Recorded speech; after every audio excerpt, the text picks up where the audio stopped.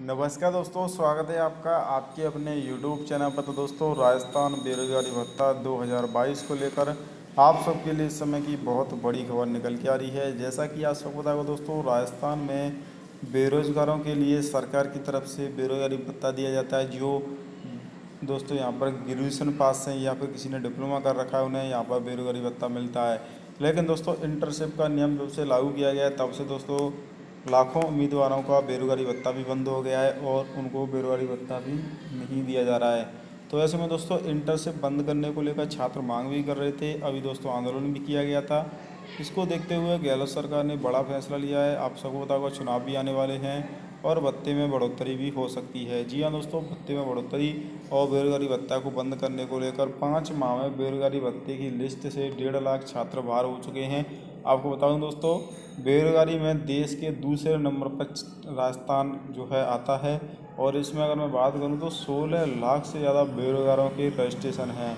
जी हाँ दोस्तों, एक जनवरी 2022 से चार घंटे की जो इंटर्नशिप लगाई गई है सरकारी कार्यालयों में, तब से दोस्तों काफ़ी सारे छात्र इस भर्ती से माफ़ कीजिएगा जो बेरोजगारी भत्ता है उसको प्राप्त करने से जो है नहीं कर पा रहे हैं। यानी पाँच महीने बाद भी एक पॉइंट उनचास लाख बेरोजगार इस लिस्ट से बाहर हो गए हैं। आपको बताऊँ दोस्तों, लगभग सोलह लाख से ज़्यादा छात्र हैं जो रजिस्ट्रेशन हैं और इनमें से बारह लाख युवा तो आपके, ये देख सकते हैं, प्रदेश के सोलह लाख से ज़्यादा बेरोजगार रजिस्टर्ड हैं। सरकार गारंटी देगी इंटर्नशिप करने वाले कौशल प्रशिक्षण से बेरोजगार युवाओं को नौकरी मिल जाएगी। तो इंटर्नशिप को बंद करने को लेकर यहाँ पर दोस्तों, छात्र लंबे समय से मांग कर रहे थे। छः पॉइंट छत्तीस लाख आवेदन आए थे, पाँच पॉइंट अड़तीस लाख लाभान्वित हुए थे 2019 से अब तक। लेकिन दोस्तों, अब मात्र तैंतीस हज़ार छात्रों को ही ये देख सकते हैं। अप्रैल मई में तैंतीस से पैंतीस युवा लिस्ट से बाहर हुए हैं और तैंतीस हज़ार छात्रों को ही बेरोजगारी भत्ता मिल रहा है। इंटर्नशिप के लिए पाँच महीने में सरकारी विभागों में सतासी हज़ार बेरोजगार पहुँचे हैं, लेकिन कंटिन्यूसी नहीं है। कंटिन्यूस वाले छात्र बहुत ही कम हैं, क्योंकि वो इंटर्नशिप नहीं करना चाहते हैं। उनके पास इतना समय नहीं है क्योंकि वो अपनी कोचिंग भी कर रहे हैं और अन्य जो अपनी स्टडी है वो भी कर रहे हैं। इसीलिए इंटर्नशिप को बंद करने को लेकर छात्र मांग कर रहे थे। आपको बताऊँ दोस्तों, अभी तक ये दे सकते हैं आठ लाख पैंतालीस हज़ार कुल आवेदन हैं। वेरीफाई पेंडिंग एक लाख ग्यारह हज़ार हैं।